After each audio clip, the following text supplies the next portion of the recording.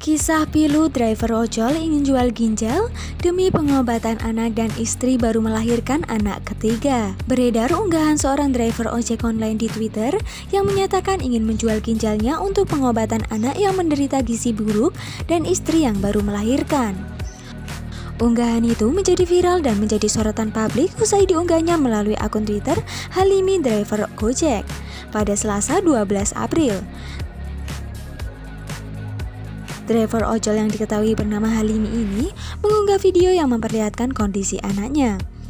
Anak driver ojol ini diketahui menderita gizi buruk.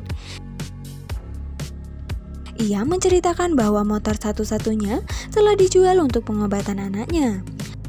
Halimi mengaku ingin menjual ginjalnya demi biaya pengobatan anaknya yang bernama Ilham. Terlebih lagi, driver ojol ini juga membutuhkan biaya lantaran sang istri baru saja melahirkan anak ketiganya.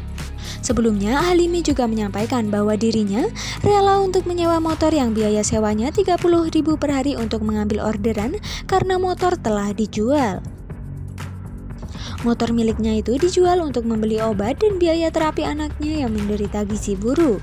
Dalam video yang diunggah, sang anak yang bernama Ilham hanya bisa terbaring lemas di ranjang rumah sakit. Menurut informasi yang diberikannya melalui akun Twitter, Ilham merupakan putra pertamanya yang telah menderita gizi buruk dan epilepsi sejak 3 tahun. Kini usia Ilham sudah 3 tahun. Unggahan hal ini yang menyatakan ingin menjual ginjalnya demi pengobatan anaknya dan istrinya yang baru melahirkan itu langsung dibanjiri komentar warganet.